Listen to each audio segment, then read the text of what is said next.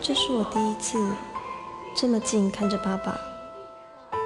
小时候总觉得爸爸有做不完的工作，这个钱我来想办法。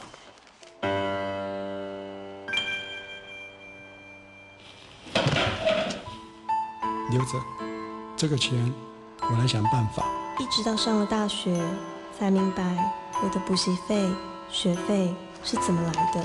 爸，我找到工作了。为什么要放弃出国留学？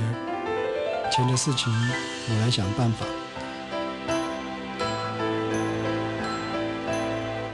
原来是爸爸用他老花的双眼换来对我一辈子的看顾。始终在您背后中国信托个人信贷。